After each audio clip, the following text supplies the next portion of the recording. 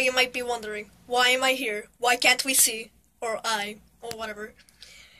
And why are we in a closet? It's because I haven't been uploading. Just saying.